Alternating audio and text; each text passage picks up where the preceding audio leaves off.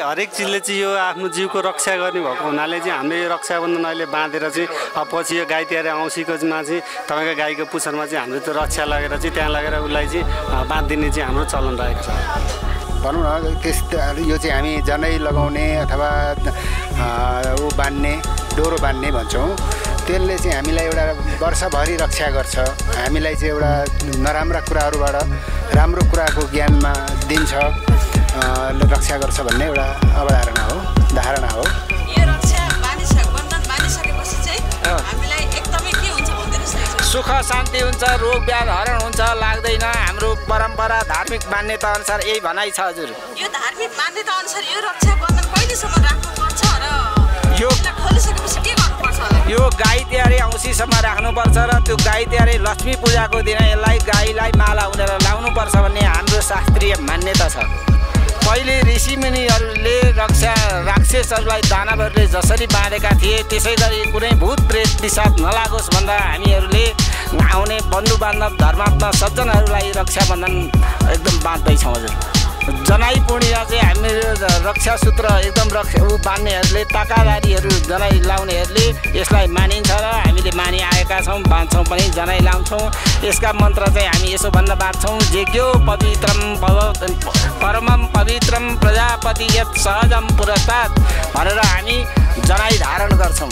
यो नयाँ जीवन भोग्न पाएको छु। र मलाई कस्तो लाग्छ केदारनाथको शिरमा आएर दर्शन गर्नुभयो र जनै पुर्णे भदौ छ गते शिवरात्रि वैशाखमा अततीर्थे वर्षको तिन दिन चाहिँ हाम्रो यहाँ ढोका खुल्ला हुन्छ। अहिले चाहिँ कोभिडको कारणले बन्द छ। त्यतिखेर उहाँहरूले दर्शन गर्नुभयो भने एकदम मनले चिताएको चाहिँ पुग्छ भन्ने मैले नै विश्वास गरेको छु र सम्पूर्ण भक्तजनहरू चाहिँ यहाँ दर्शन गर्न आउनुहुन्छ। आउनुहोस् भन्ने मेरो आग्रह पनि गर्न चाहन्छु। हिन्दूहरू हिन्दूभन्दा पनि हामी वैदिक सनातनीहरूको महान चाड चाहिँ अब हामीले आफू सुरक्षित भएर मनाउनुपर्छ भनेर हामी पनि यसरी दर्शन गर्न आएका छौँ। बाहिरबाट दर्शन गऱ्यौँ। मन्दिर चाहिँ बन्द छ भित्र। मन्दिर बन्द छ। जनै पूर्णिमाको विशेषता चाहिँ हाम्रो यो बुवा आमा बाउ बाजेदेखि रीति रिवाज होइन। आफ्नो चाहिँ जुन चलन चल्ती अनुसारको रीतिरिवाज पहिलाको हेरी अहिले धेरै संस्कृतहरू चाहिँ हराउँदै गएको छ। यो नहराओस्। अब जस्तै छोरी मान्छेको बेल विवाह जस्तो गुन्यौ चोलो दिनेहरू होइन परम्पराहरू चाहिँ एकदम न नष्ट हराउँदै गएको छ। त्यस्तो नजाओस् र छोरा मान्छेको चाहिँ वर्तमान भइसकेपछि जनै लाउने र डोरा बाँध्ने रक्षाको लागि आफ्नो एक वर्षसम्मको होइन जीवन जुन परम्परा चाहिँ राम्रो होस् यस्तो अहिलेको बच्चाहरूले चाहिँ जनै लाएपछि वर्तमान गरेपछि जनै लाइसकेपछि एक वर्षसम्म तपाईँको जनै खोइ भन्दाखेरि जनै नै हुँदैन क्या? दर्शकबिन नमस्कार। तपाईँहरूमाझ आज मैले हाम्रो जुन रक्षाबन्धन जनै पूर्णिमा भनेर धेरै नेपालीहरूले चिन्दछन्। यही जनै पूर्णिमाको उपलक्ष्यमा हजुरहरूमाझ केदारनाथको शिर डोलेश्वर मन्दिरको प्राङ्गणमा छु म आज। दर्शनार्थीहरू कोरोनाको महामारीमा पनि आफूलाई सुरक्षित गर्दै दर्शन गर्न आइराख्नु भएको छ डोलेश्वर भगवानको। भन्छन् रक्षाबन्धन बानेपछि धेरै आफूमा शक्ति बढ्छ अरे भन्ने कुरा त मैले सुनेकी मात्रै छु। म पनि आज स्वयं डोलेश्वर मन्दिरको प्राङ्गणमा गुरु बाहरूसँग रक्षाबन्धन बाँध्न आउँदैछु। हेरौँ यो पर्वको विशेषता के रहेछ? किन यो रक्षाबन्धन मनाइदो रहेछ र रक्षाबन्धन मनाइसकेपछि हाम्रो पुर्खाहरूले चाहिँ कुन यसलाई परिवेशलाई मान्नु हुँदो रहेछ तपाईँहरूमाझ मैले हाम्रो गुरुबासँगको कुराकानीहरू ल्याउँदैछु हेर्नुहोला। नमस्कार गुरुबा। नमस्कार हजुर। नमस्कार। सन्चै हुनुहुन्छ? एकदम सन्चै हजुर। यति बेलासम्म कोरोनाको उसबाट सुरक्षित हुँदै बसिएको छ। आज रक्षाबन्धन रक्षा बाँधिँदै हुनुहुन्छ होइन रक्षाबन्धन? हजुर रक्षाबन्धनको लागि रक्षाको लागि हामीले रक्षाबन्धन वितरण गर्दैछौँ। यसको विशेषता थोरै बताइदिनुहोस् न। पहिले ऋषिमुनिहरूले रक्षा राक्षसहरूलाई दानवहरूले जसरी बाँधेका थिए त्यसै गरी कुनै भूत प्रेत पिसाब नलागोस् भनेर हामीहरूले आउने बन्धु बान्धव धर्मात्मा सज्जनहरूलाई रक्षाबन्धन एकदम बाँध्दैछौँ हजुर। यसलाई एउटा गुरु पूर्णिमा जनाई पूर्णिमा भनेर पनि मनाइन्छ होइन? हजुर। जनाई पूर्णिमा चाहिँ हामीहरू रक्षा सूत्र एकदम रक्ष ऊ बान्नेहरूले ताकादारीहरू जनाई लाउनेहरूले यसलाई मानिन्छ र हामीले मानिआएका छौँ बाँध्छौँ पनि जनाई लाउँछौँ। यसका मन्त्र चाहिँ हामी यसो भन्न बाँध्छौँ जेज्ञो पवित्रम पव परमम पवित्रम प्रजापति यत सहजम पुरस्तात् भनेर हामी जनाई धारण गर्छौँ। रक्षाबन्धन बाँधिदिनुहोस् टिका लगाइदिनुहोस् धेरै आशीर्वाद दिनुहोस् है। हजुर हवस् श्रीवर्ष समायुष्यम आरोग्यमा विधात पवमान मय्यते धन धान्यम पशु बहुपुत्र लाभ संवत्सर दीर्घमायु मन्त्रार्थ सफला सन्तु पूर्णा सन्तु मनोरथ शत्रुणं बुधिना सस्तु मित्राणां बुधयस्तव। भद्रमस्तु शिवं चास्तु महालक्ष्मी प्रसिद्धतु रक्षार्थं त सदा देवम् आशिषं सन्तु सर्वदा सधैँ सुख शान्ति होस्। मुखमा सरस्वतीले बास गरून् हातमा लक्ष्मीले बास गरून्। जय कल्याण होस् हजुरको।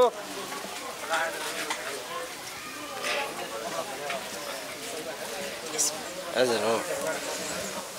येन बत्तु बलिराजा दानवेन्द्रो महाबल तेन त्वं प्रतिबध्नामि रक्षेमा चल माचल भद्रमस्तु शिवं चास्तु महालक्ष्मी सदा देवम् आशिषं सन्तु सर्वदा।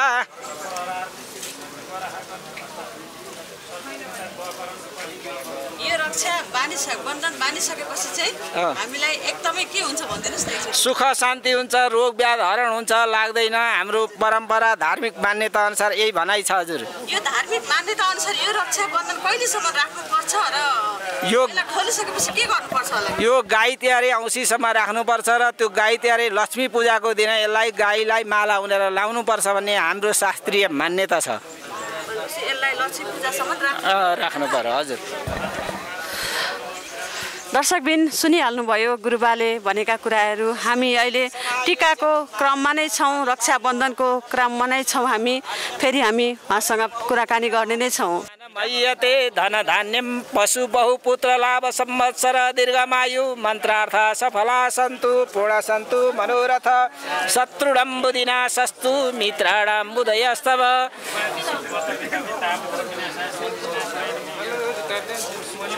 खै धागो येन बत्तु बलिराजा दानवेन्द्रो महाबल तेन त्वं प्रतिबध्नामि रक्षेमा चल माचल। सूर्य सौर मथेन्दुरेन्द्र पदवीं सन्मङ्गला मङ्गलं सद्बुद्धिश्च बुधो गुरुश्च गुरुतां शुक्रं दुःखं संसनेर् राहुर्बाहुबलं करोतु सततं केतु कुलशोनितं नित्यं प्रीतिकरा भवन्तु मम सर्वेन कुलाग्रह ब्रह्मा मुरारी स्त्रीपुरन्तकारी भानु शशि भूमिसुतो बुधश्च गुरुश्च शुक्र शनि राहु केतु नवै ग्रह शान्तिकरा भवन्तु। शेषा न पहन्ति तुष्टा रुष्टा तु कामं सकलं न भीष्टा त्वमाश्रितय्या न विपन्नराणां त्वमाश्रितय्या सहिता प्रयन्ति। सधैँ कल्याण होस् रक्षाबन्धन बाँधेको आशीर्वादले हजुरलाई भगवान्ले देखुन् यही कल्याण हाम्रो शुभकामना।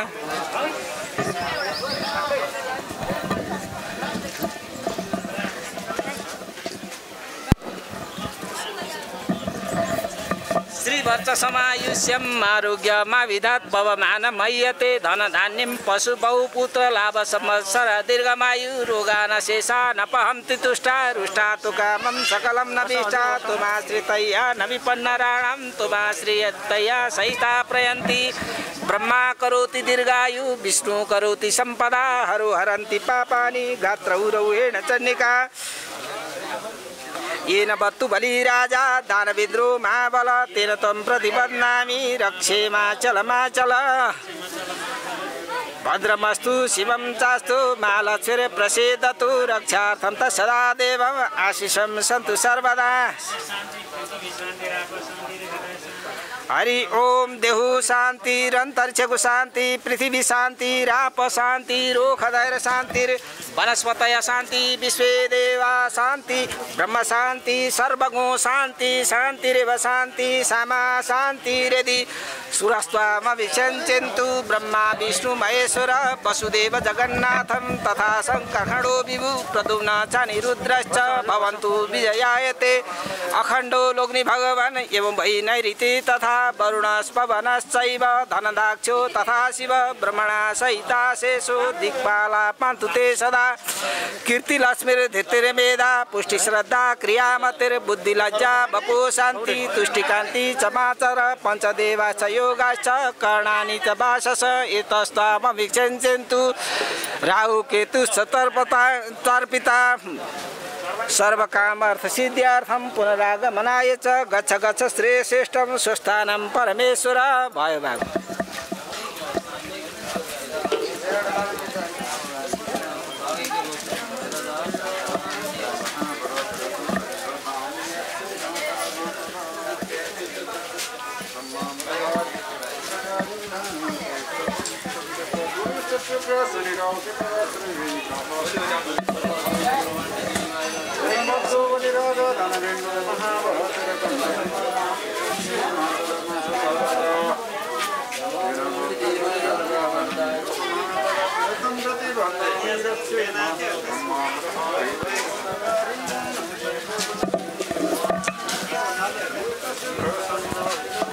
दर्शकबिन म डोलेश्वरको प्राङ्गणमा छु र केही दर्शक दर्शनार्थीहरूसँग कुराकानी गर्ने जमर्को गइरहेको छु। केही कुराकानी हजुरहरूमाझ ल्याउने नै छु अहिले पनि। भन्छन् यो रक्षाबन्धन बाँधिसकेपछि आफूलाई भूत प्रेस नलाग्ने भन्ने एउटा भनाइ छ। त्यसै गरी हामीमाझ अर्को गुरुदेव हुनुहुन्छ। उहाँसँग पनि म केही कुरा गर्न चाहन्छु। उहाँले मलाई सम्भवतः थोरै टाइम दिनुहुन्छ जस्तो लाग्छ। गुरुजी नमस्कार। नमस्कार म अहिले हजुर नमस्कार। आराम हुनुहुन्छ? ठिक छ। आज यो डोलेश्वर मन्दिरको प्राङ्गणमा म पनि आइपुगेकी छु। यो रक्षाबन्धनको विशेषता थोरै भनिदिनुहोस् न हाम्रो हेर्ने दर्शकबिनहरूलाई। यो चाहिँ हाम्रो महान चाड रक्षाबन्धन चाहिँ यो केटा मान्छेको विशेष गरी तपाईँको जनाइ पूर्णिमा चाहिँ यो जनाइको महत्त्व चाहिँ यो पहिला परापूर्व कालदेखि नै यो जनाइले चाहिँ आफ्नो यो ज्यानदेखि लिएर आफ्नो सबैको रक्षा गर्ने भएको हुनाले चाहिँ यसलाई चाहिँ मान्दै आएको छ। यो रक्षाबन्धन जनाइ यो व्रतबन्ध गरेकोले जनाइ फेर्नुपर्छ भन्ने चलन छ नि त आज हजुर।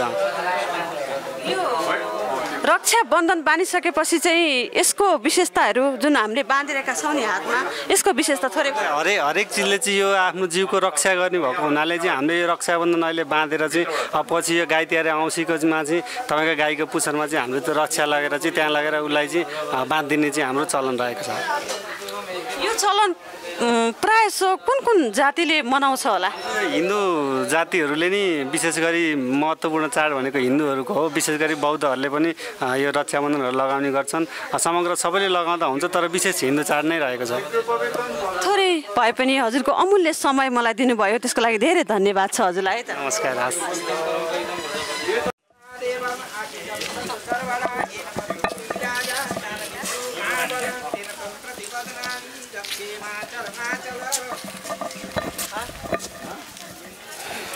दर्शकबिन जुन डोलेश्वरको प्राङ्गणमा हाम्रो एकजना बुवा हुनुहुन्छ उहाँलाई पनि धेरै कुराहरू थाहा छ होला। यो विषयमा उहाँसँग पनि हजुरहरूमाझ यो जनै पूर्णिमाको विशेषता र रक्षाबन्धन किन बाँधिन्छ त भनेर केही कुराकानी गर्न चाहन्छु। नमस्कार नमस्कार। हजुरको शुभ नाम? मेरो गोविन्द प्रसाद लुइटेल। हजुर घर कता पर्यो होला? पहिलो घर विराटनगर अहिले चाहिँ काँडाघारी पेप्सी खोला काँडागाडीबाट दर्शन गर्न आउनुभयो। हजुर दर्शन गर्न आइयो। अनि हजुरले यो कोरोनाको महामारीमा मन्दिरमा केही विकृतिहरू देख्नु भएको छैन? यस्तो विकृति त मैले देखिनँ। होइन प्रशासनले पनि यो चाहिँ मन्दिर बन्द गरिराखेको अवस्था छ। अहिले अहिले दर्शनार्थीहरूलाई चाहिँ प्रवेश गर्न नदिने भन्ने जस्तो एउटा सूचना ट्रान्स गरिराखेको देखियो। र पनि अब हाम्रो एउटा महान चाड हिन्दूहरू हिन्दूभन्दा पनि हामी वैदिक सनातनीहरूको महान चाड चाहिँ अब हामीले आफू सुरक्षित भएर मनाउनुपर्छ भनेर हामी पनि यसरी दर्शन गर्न आएका छौँ। बाहिरबाट दर्शन गऱ्यौँ। मन्दिर चाहिँ बन्द छ भित्र? मन्दिर बन्द छ। भनेपछि यो जनै पूर्णिमा रक्षाबन्धनको विशेषता केही भनिदिनुहोस् न। रक्षाबन्धनको विशेषता चाहिँ एउटा के हो भने हामी सनातनी हिन्दू हामी वैदिक सनातनीहरूले एउटा तागाधारीहरूले एउटा चाहिँ भनौँ न त्यस यो चाहिँ हामी जनै लगाउने अथवा ऊ बान्ने डोरो बान्ने भन्छौँ। त्यसले चाहिँ हामीलाई एउटा वर्षभरि रक्षा गर्छ। हामीलाई चाहिँ एउटा नराम्रा कुराहरूबाट राम्रो कुराको ज्ञानमा दिन्छ। रक्षा गर्छ भन्ने एउटा अवधारणा हो धारणा हो। जुन हाम्रो हिन्दू धर्मावलम्बीले चाहिँ अब छोरा मान्छे व्रतबन्ध भएको छोरा मान्छेले जनै फेर्ने पनि चलन छ आज होइन त? छोरा मान्छेहरूले जनै फेर्ने जस्तो अब तपाईँको छोरा मान्छेहरू अलिकति उ भएपछि होइन उनीहरू ठुलो भइसकेपछि उनीहरूको चाहिँ व्रतबन्ध गरिसकेपछि जनै लाउने अथवा साना बच्चाहरूले अथवा अरू जातिहरूले र डोरो बान्ने रक्षाबन्धन बान्ने रक्षाबन्धनको लागि डोरो बान्ने चलन छ। त्यो चाहिँ अब पहिलेदेखि चलिआएको हो अब हामीले अहिले त्यसैलाई अब अवलम्बन गर्दै आइरहेका छौँ। यस्तै हो। हजुरको अमूल्य समयको लागि हजुरलाई धेरै धेरै धन्यवाद छ। अनि हामीमा त्यसै गरी दिदी हुनुहुन्छ एकजना। उहाँसँग पनि म केही कुराकानी गर्न चाहन्छु। दिदी नमस्कार। नमस्कार। आराम हुनुहुन्छ? हजुर। हजुर। हजुर चाहिँ कहाँदेखि आउनुभयो हजुरको शुभ नाम? हजुर नमस्कार। मेरो नाम रञ्जना बजगाई। मेरो यस वडामै हो घर। ए वडामा हो। चाहिँ मानव अधिकारको लागि महिला एकल महिला सूर्यविनायक नगरको अध्यक्ष हो। र मेरो यहीँ सानो व्यवसाय थियो।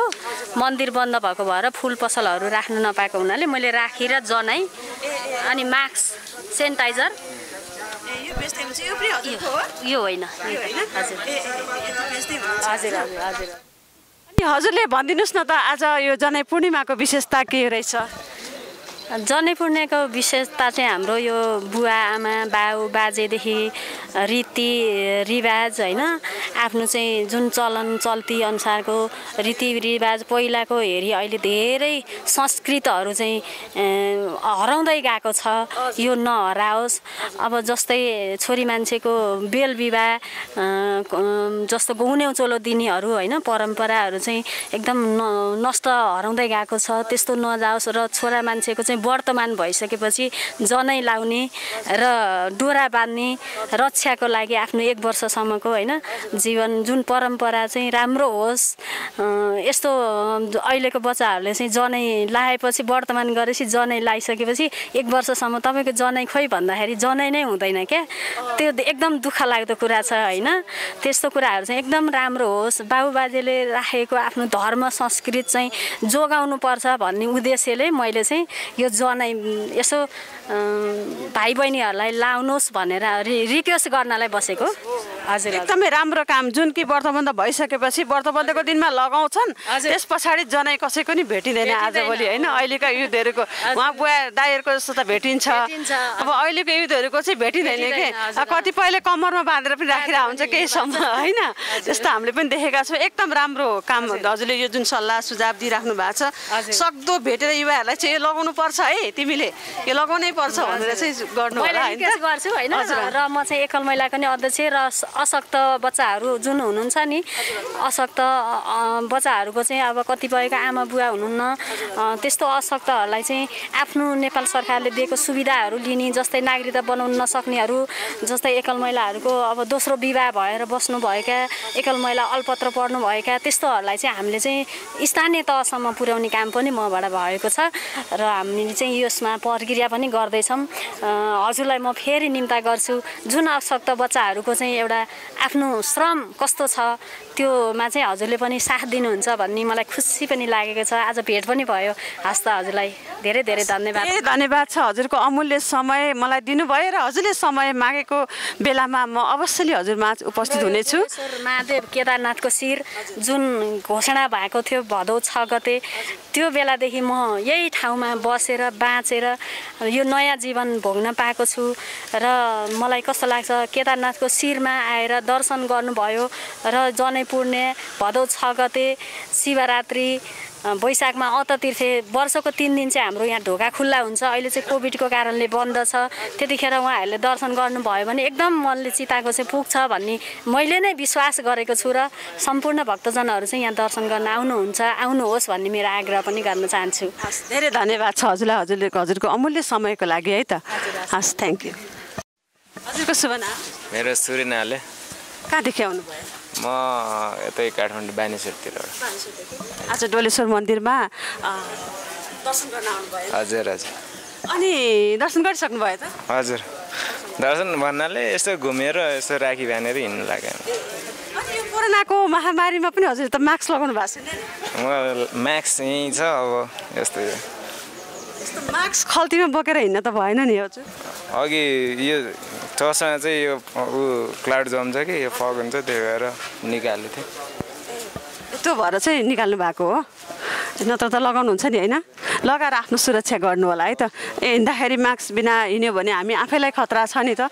कोरोना पनि दिन प्रतिदिन बढिरहेको छ। त्यस कारणले गर्दाखेरि मास्कको सदुपयोग एकदम आफ्नो शरीरको हेल्थको केयर आफै गर्नु होला है। मन्दिर दर्शन गरिसक्नु भएको छ। भिडभाडमा धेरै न बस्नु होला। हस् हजुरले थोरै समय दिनुभयो। धन्यवाद। Okay thank you.